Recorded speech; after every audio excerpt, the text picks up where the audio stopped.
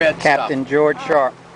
No, I mean, We had some. is it still red there? Assistant Captain, It just got a little Chris mark, and I've never had marks on my boat. Third Crew was- Chief Janet Sharp, Is it, oh, is that a video? And Karen? Yeah. and yours Well, truly. There. Hey, Cliff.